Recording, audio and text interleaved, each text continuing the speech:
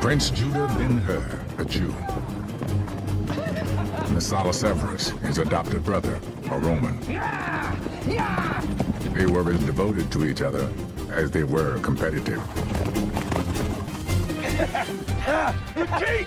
Cheat! All's fancy romance! Well, that's low! Judah's father passed away, holding on to the hope that the two brothers could be an example of unity in this divided land. Cheat! have to go!